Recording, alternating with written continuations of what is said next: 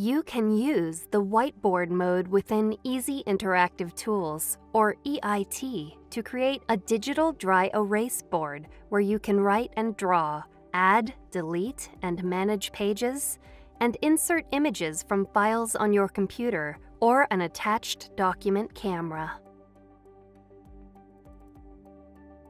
Run EIT on your computer. The software opens in whiteboard mode and you see a blank screen and a toolbar. If you already have EIT open in a different mode, select this icon, then this icon to switch to whiteboard mode. To draw or highlight, select this icon to choose a pen type. Then select the color.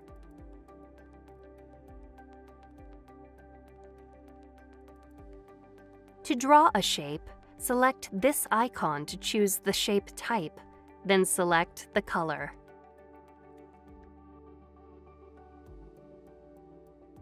To erase drawings, select this icon, then use the interactive pen or your finger as an eraser. Select this icon to clear the entire page. Select this icon to undo the last action. Select this icon to redo. Select this icon to add text.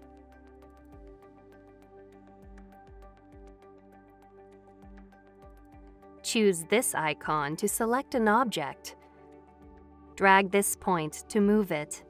Drag these points to reduce or enlarge it. Use this point to rotate it. Select this icon to see more interactive options. Select this option to copy the selected object to the clipboard. Select this option to paste an object from the clipboard into your drawing.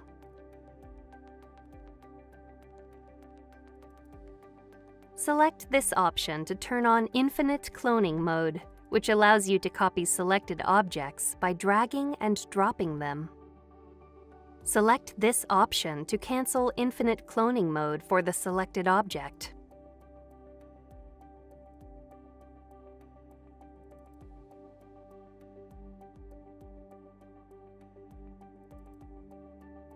To insert an image, select this icon, select the image, and select Open.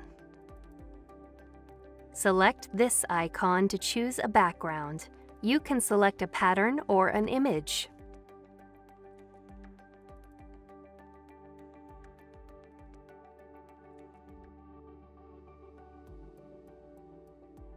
Select this icon to display the page list screen. Select this icon to add and display a new page. Select this icon to duplicate the currently displayed page. Select this icon to delete the currently displayed page. Select a thumbnail image to change the displayed page. To change the display order, move a thumbnail image. Select this icon to capture all or part of the current screen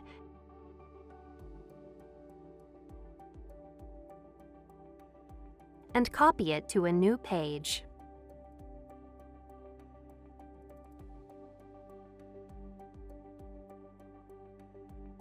To save your pages to a file, select this icon. Select the save location, file name, and file format. If you want to edit a file again in the future, you must save it in EIT or IWB format.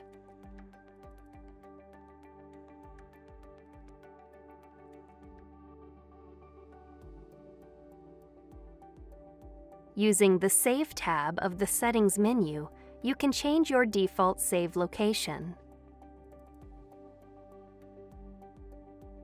Additional operations are available in the Tool panel. Select this icon to open it. Select this icon to create a new file. Select this icon to open an existing whiteboard file. Select this icon to print the contents of the screen, You can select the pages you want to print on the Print Settings screen. Select this icon to display an image from an Epson document camera connected to the computer.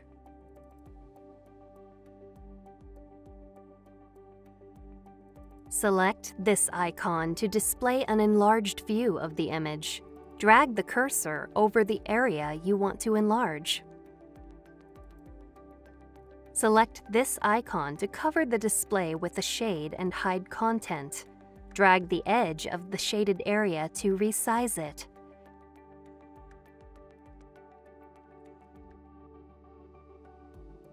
Click this icon to delete the shade. Select this icon to highlight an area using a spotlight effect. Drag the spotlight edge to resize the highlighted area. Click this icon to delete the spotlight. Select this icon to display an on-screen keyboard you can use to enter characters.